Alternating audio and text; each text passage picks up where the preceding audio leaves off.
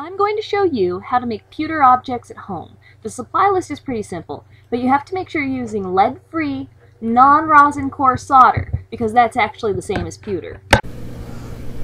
So here I have a lump of modeling clay with a jump ring in it. I'll show you jump rings next. And what I'm doing now is I'm just constructing a clay shape. I'm making sure that all the parts have really good contact and overlap.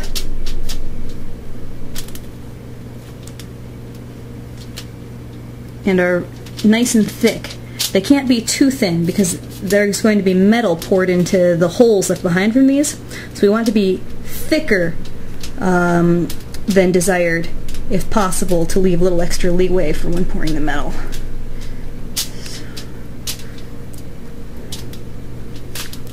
Now in the clay I can embed things that I want to have in the final metal piece. Um, if you look online at precious metal clay websites, PMC websites, they'll give you lists of what you can put at high temperature and won't crack or break. I have no idea what these beads are going to do. Um, but certain kinds of semi-precious stones or crystals, or even things like hunks of copper ore, um, won't melt at these temperatures or crack. So now I'm going to pour some plaster. So I have taken a ball of clay and I'm rolling it into a log. Then I press the log into a rough rectangle. This is going to become a dam to hold in plaster.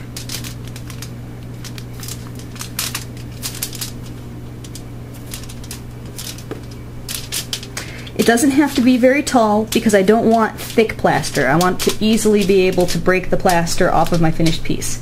What it does have to be is tightly sealed to the foil, wax paper, your mom's favorite wooden table, whatever, you know, you're using as your base. Okay, awesome. So as promised, jump rings, I have a Q-tip. I have some wire not solder, wire, things that won't melt under hot temperature. I'm now wrapping it around the Q-tip to make a coil. So then I slide it off the Q-tip. So I've got a little coil here, so I'm going to bring in my wire snippers and snip away.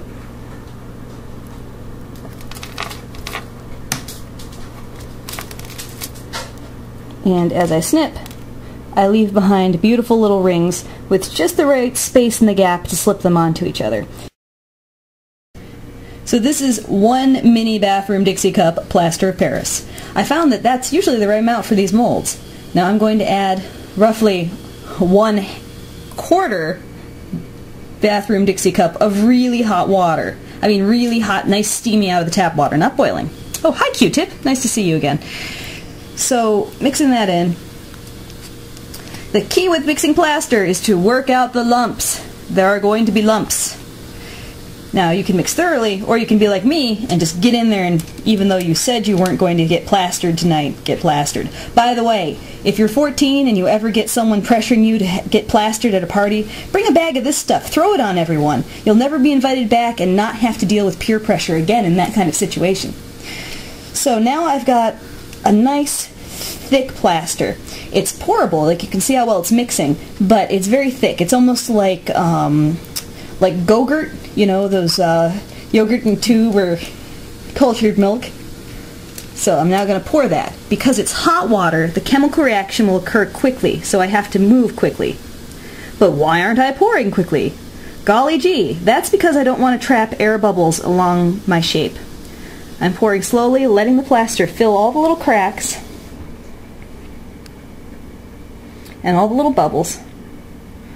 And then I'm not making it really, really thick. Notice I'm choosing not to go to the top. I want to easily be able to crack this plaster off my final mold with a hammer or even my bare hands. So now, I'm just going to tap to bring the air bubbles from the surface of my piece to the surface of the plaster.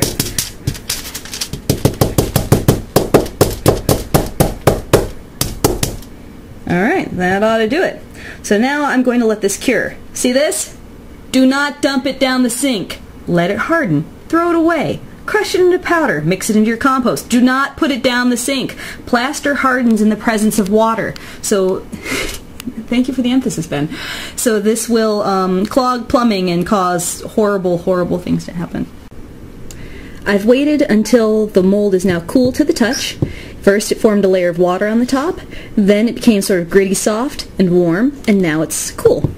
So what I'm going to do is just gently peel away the clay.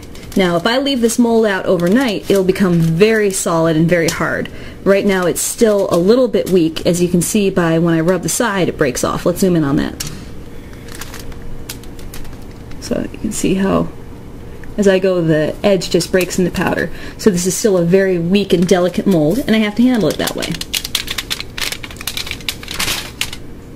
Hooray! So on to the next step.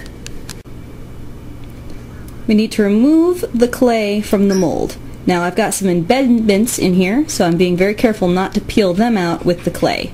If you have molded with wax, you can set it on fire at this point and burn it out. Uh, if you want to burn it out, you would hold it like that, lighter under it, and melt and burn it out. Obviously, you would do that in a safe place for use of fire, and if you are a youthful child under the watchful gaze of your legal guardian. Um, okay, so I'm just going to gently peel as much out as I can. The rest of it will pop out um, after it's dried. So I'm going to peel this out and then stick the mold in the oven. I'll explain. My mold is clean. It's ready to go, right? No, if I pour metal into this now, it will kill me. How will it kill me? There is still water inside this. It will come out as steam, popping the metal into the air in a horrible blast. So what am I going to do? I'm going to broil it for about 20 minutes. Have fun in there. Our mold is now nice and bone dry, but regardless, always wear safety glasses, Mr. Cameraman. Because I know I'm wearing mine. Alright. So I'm going to melt lead-free solder, which is essentially the same as many um, ooh, this is kind of fun, which is essentially the same as many pewters, into the mold. And as I do so, I'm keeping the soldering iron tip in the metal to keep it molten and heated.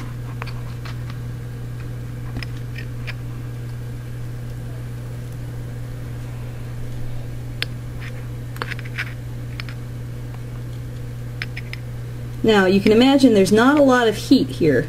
Now, this is not the same as a furnace, so I can only do small charms like this. Something the size of this is already pushing it. Like you could hear that crack just then from the uh, mold and the beads inside it. So is this a perfect method? Hell no. Will it get you some cute little trinkets and stuff? Definitely. Is it prop worthy, especially for theater? Uh-huh. So we'll, um,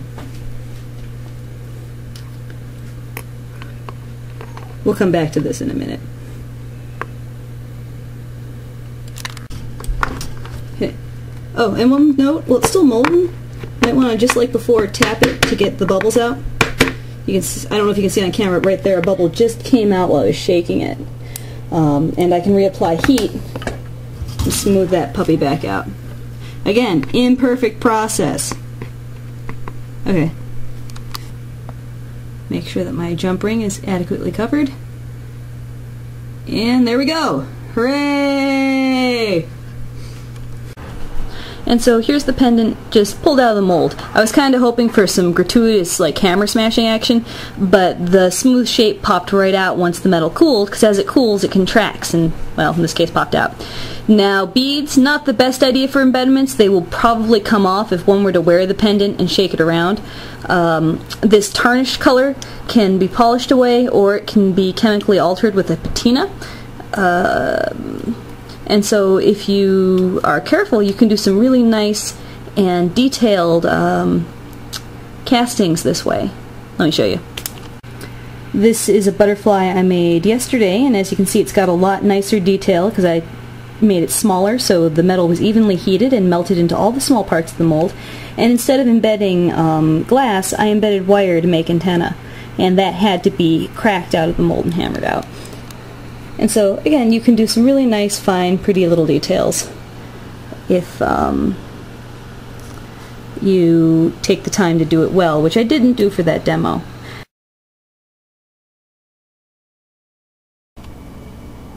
Alas, poor Q-Tip. I knew him, small bathroom-sized Dixie cup. A fellow of infinite jest, of most excellent fancy. I have borne him in my ears a thousand times, and now how abhorred in my imagination it is. My gorge rims at it. Here hung those lips that I have kissed I know not how oft. Where be your swabs now? Your paper stick? Your